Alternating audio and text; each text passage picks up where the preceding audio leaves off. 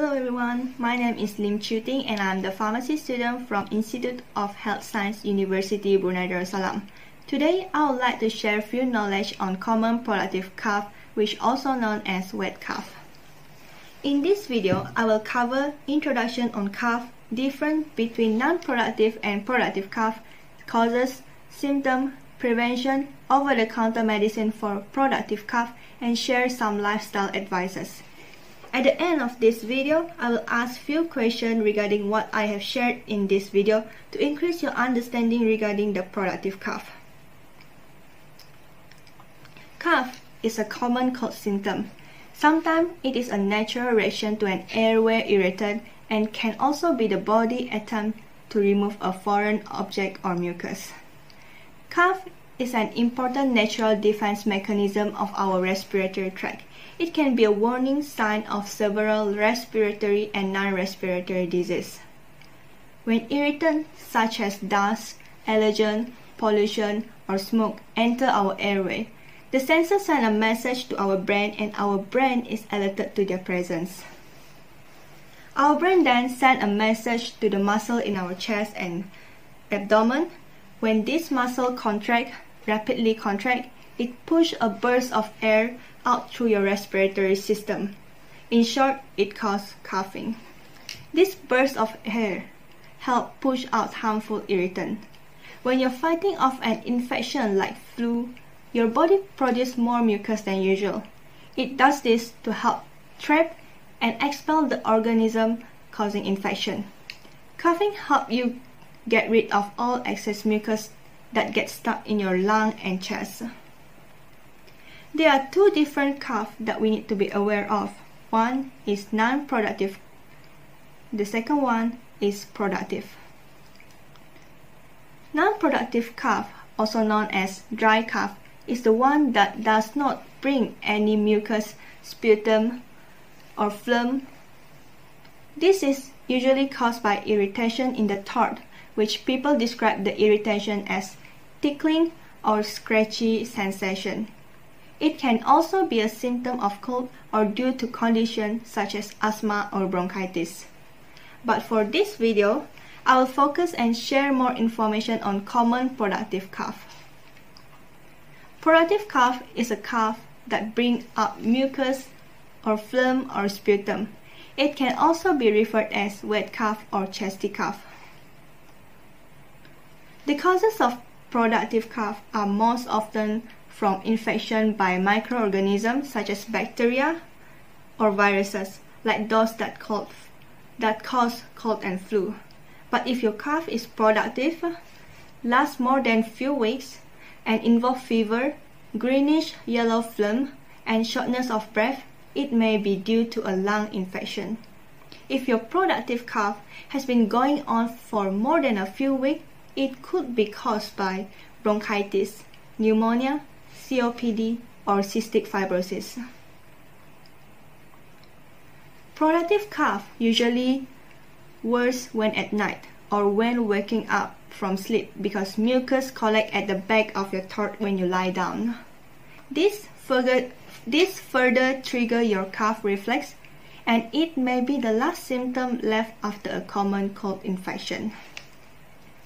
Symptom of acute viral cough consists of associated with other cold symptoms, sudden onset, usually more troublesome in the evening, duration usually between 7 and 10 days, possibly up to 2 weeks, and the sputum and or, sputum or phlegm is clear and colorless. When you have symptoms such as yellow, green, pink, or bloody sputum, have high temperature, or fever, shortness of breath or wheezy, cough is mainly at night, you have chest pain when coughing, the cough lasts two weeks or more and not improving, the cough affect an infant or children under 5 years old, then you might need to seek help from doctor for more accurate diagnosis. Today I'm going to share one cough syrup that can be obtained at retail pharmacy easily for common productive cough. 5% carbocisteine rhinathiol adult, adult syrup. This medicine can be obtained without prescription. You can get it easily in the retail pharmacy. What is it for?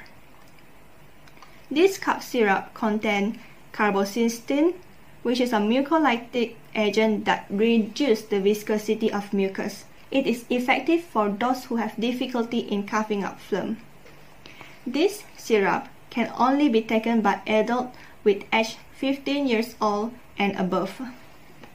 Before you taking before you take Rhinathiol 5% adult expectorant syrup, make sure that you don't have history of allergy to any of the ingredient.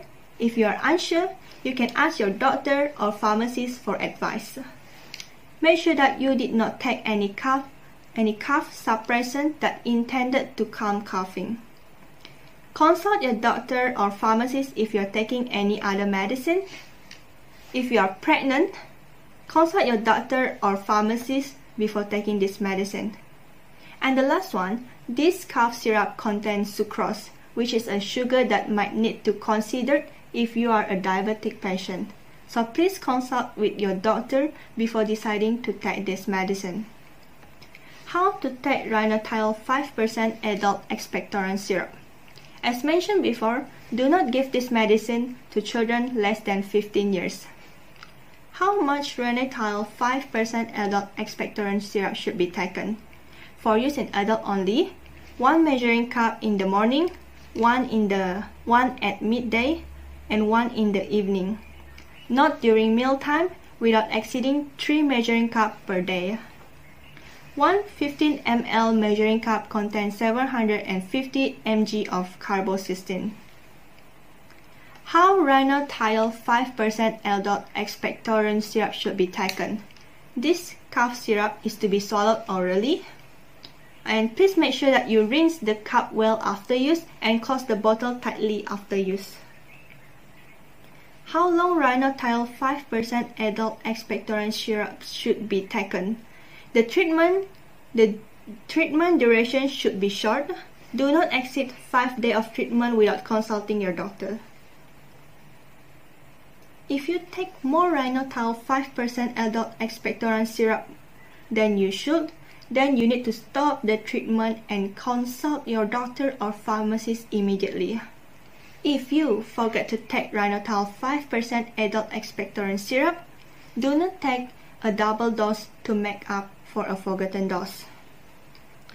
How to store the Rhinathiol 5% adult expectorant syrup? Keep out of the reach and sight of children.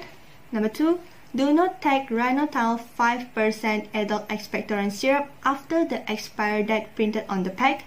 Number three, store below 25 degrees Celsius. And the last one, medicine should not be disposed of via wastewater or with household waste. Household waste. Ask your pharmacist how to dispose of unused medicine and this will help to protect the environment. So I would like to share a few preventative measures for cough, such as number one, quit smoking. Because smoking is a high is a common contributor to a chronic cough. Number two, dietary changes. Eat more fruit, high fiber fruit such as banana, oranges, green leaf vegetable, and high flavonoid food such as citrus, apple, berries, and or spinach. Number three, avoid in contact with anyone with a contagious illness such as bronchitis to avoid coming in contact with the germ. And the last one is wash your hand regular frequently. Do, don't share utensil, towel, or pillow with people who is having cough. Other treatment or and last and lifestyle advices. You can use steam inhalation to calm your cough. Maintain food intake to hydrate your lung. Elevate your head with extra pillow when sleeping. Gargle with warm salt water regularly to remove, to remove mucus and soothe your throat. Avoid irritants such as smoking and dust. Add honey or ginger to hot tea to relieve your cough and clear your airway. Now we reach the question and answer session. I will ask four questions and the answer will be revealed at the end of the video. You can click pause to read on the question. So the first question, what is the difference between non-productive cough and productive cough? Question number two, what is 5% carbocisteine rhinathiol syrup for?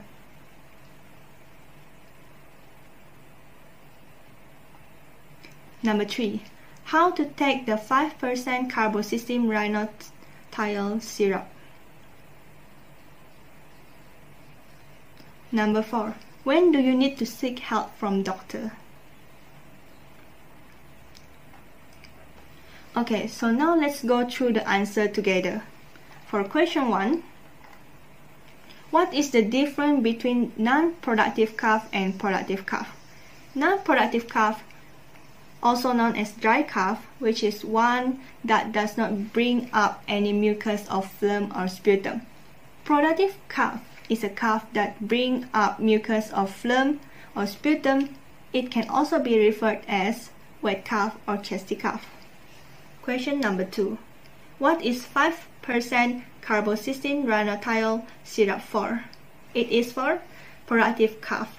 This cough syrup contains carbocisteine, which is a mucolytic agent that reduces the viscosity of the mucus. It is effective for those who have difficulty in coughing up phlegm. This syrup can only be taken by adult with age 15 years old and above. Question number 3. How to take the 5% carbocisteine rhinathiol syrup? Do not give this syrup to children less than 15 years old. For use in adult only, one measuring cup in the morning one at midday, one in the evening, not during meal time, without exceeding 3 measuring cup per day. One 15 ml measuring cup contains 750 mg of carbocisteine. And the last question, when do you need to seek help from doctor? So when you have symptoms such as yellowish green, pink, or bloody sputum, have high fever, high temperature or fever, shortness of breath or wheezy, the cough is mainly at night, you have chest pain when coughing, the cough lasting two weeks or more and not improving, the cough affect an infant or children under 5 years old, then you might need to seek help from doctor for more accurate diagnosis. So that's all for my video today. I hope that you learn new knowledge from this video and thank you very much for watching my video. See you in the next video.